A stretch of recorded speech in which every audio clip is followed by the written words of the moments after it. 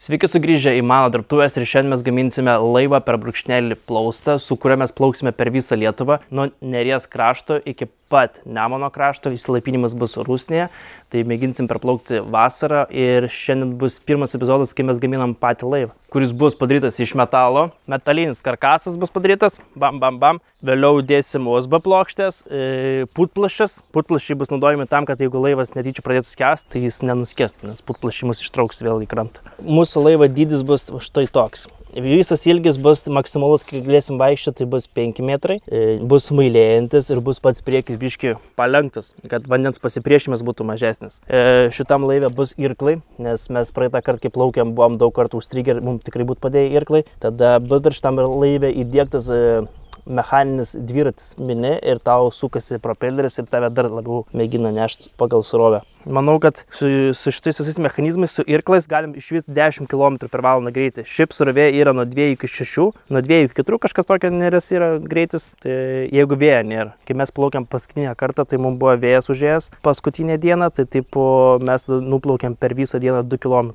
Vien dėl to nes vėjas pūtė priešis mus. Dėl to aš noriu išvengti ir pasidaryti irklus ir varikliuką su kojom.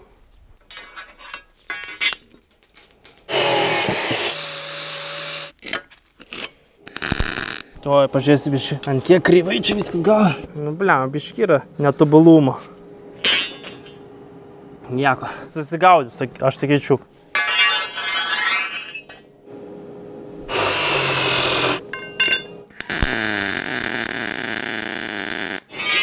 Nu va, du jau yra, reikia dar du padaryti.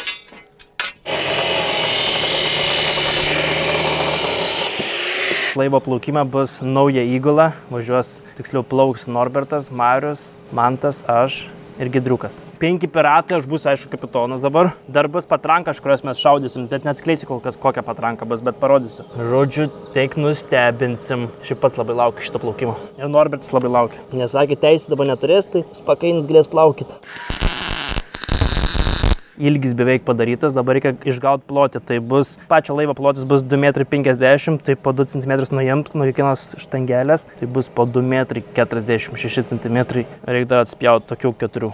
Ei, čia, žinok, ir bus labai gerai, žinok, o čia sudėsim, sujungsim. Mačiau vienas komentarą, ne, tai, o tai kam tu ten reikia, tipo, taip, taip kalbėti, kam tu čia taip įsipisnėjai, tai negalėjai tiesiog parodyti, kaip remontuoji tą mašiną ir viskas, kam čia tau bereikia tokių nesam. Jis įgeisinė, kaip tu torą galvoja, o pasižiūrėsi, kaip čia reikia seliamblokus pasikeisti. Ir matau, ten mes šnekam su gedriuku. Šūdis visokius. Taigi nuskęs tavo laivas, ne? Be šansų, viskas čia bus gerai. 2,6, ne? Bliau, daug vietos realiai.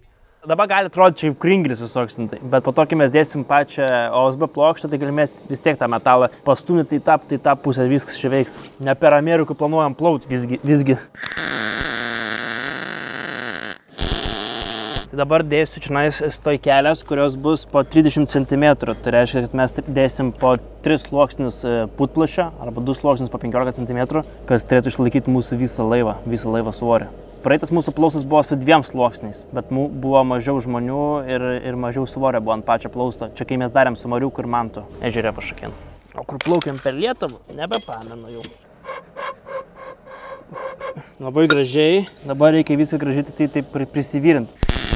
Nu, atrodo tiesiai. Sužinosim, kaip jau darės apie mus dokumentika, tipo nuskendęs nemonė laivas. Ko trūka iki tobulumo. Nu, visų pirma, matėm iš video, kad labai kreivai vyrino. O viešpatė vaidai, kaip tu gali vyrinti su angliarakšte, su miksu, su aragonu, kaip tu gali vyrinti laukia, juk užpus ir tau nesivyrins. Puikiai vyrinusi, žmonės manęs klausia, vaidai, iš kur gavai tokias dujas, aš tas dujas įsigyju iš botanas.lt. Tai jeigu žmonės jūs norite kažkur įsigyti dujų, galite būtinai kreiptis pas juos. Jie turi visokio tipo dujų, argono dujų, angliarakštas, miksai, tiesiog degonės dujų. Jeigu nori važiuoti kažkur kempint ir tau reikia dujinės viryklės, ten irgi yra dujinių variklių. Jeigu tu nori juoktis kistu balsu, net yra ir helio balionam pilsti, helio dujas absoliučiai visokios dujos, kokios egzistuoja, turbūt dujos pasaulyje yra botanas.lt, tai būtų didžiulis, didžiulis, didžiulis ačiū Jums, kad jeigu Jūs iš ten pirktumėte dujas ir didžiulis ačiū pačiam botanai, kad remia šitą video. Nu, kiek čia trūkumus ir deficitus. Oi, labai mažai, žinok. Tai čia labai gražiai mes susvyrins. Čia labai gražiai bus. Tikrai va kažkur to. Taip atrodo. Atrodyti ir būti yra du skirtingi dalykai. Gali atrodyti kreivus, bet vidum gali būti man tobuliausia asmenybė ever. Varom.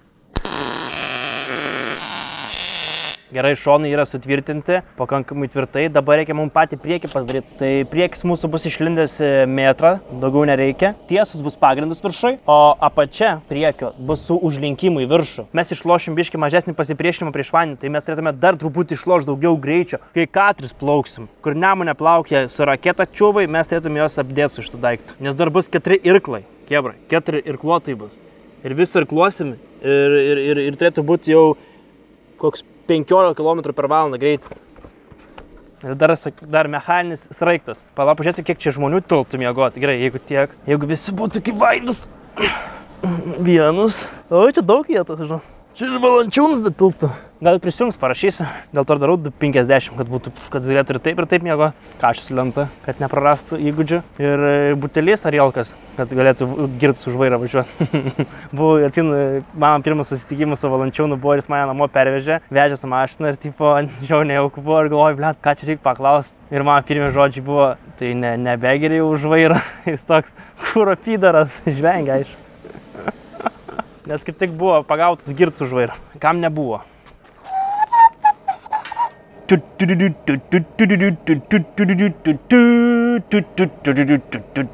Labai geras priekis, žinok, bus. Jau matau, kaip čia kažkas užlips ir nuloš man viską.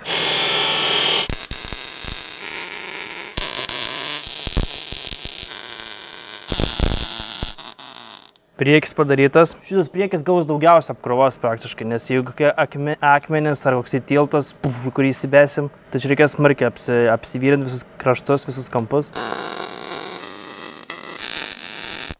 Tai va, padarėm patį laivą pagrindą, dabar tai liks uždėti OSB plokštės ir užkrauti daug polistirolio putų, putplašio pačių. Tada uždėsim dar USB plokštę, susikursim patį laivo karkasą, kad būtų labai labai įspūdingas. O dabar siūlau jums nueiti į mūsų patroną. Ten pamatysite turinę, kuris yra skirtas tik patronams, tai genties tarybo podcastas. 17 epizodų iškart gaunat, jeigu tampat patronus. Mm, didžiulis bonusas. Ačiū dar kartą sakau botanas.lt mūsų rėmėjams. Subscribe, like ir share. Žiūrėk, žiūrėk, žiūrėk, dabar man buvo irgi situacija, ofise sėdžiu čia, ne? Ir įeina žmogus. Ir kažkas paskambino, tipo, vieną kartą atsiliepiau, kurva, girdi, išeik, išeik lauką, kurva, numečiau iš karto, nes neįdomu, žinai. Jo. Noriu sako, ble, tik pakalbėk normaliai, kažkas bus, galvoju, na gerai, jeigu paskambins vėl atsilieps. Ir žiūriu, vėl skambina, atsiliepiu. Kurva, dai, atidaryk duris. Ir kažkas atrodo, tam taip plėšti duris, bet aš čia esu. Ir, ir tipo, aš tu, kas tu, ble, viskas normaliai, žinai, kažkas tokio.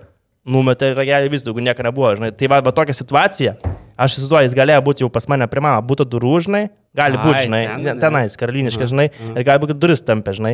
Tai aš būčiau leidęs, jeigu, aš, jeigu leistų ginklą turėti, žinai, ir taip pat būčiau daręs duris, būčiau sakęs sveikas, taip, eik, eik, vidų, tik įeina.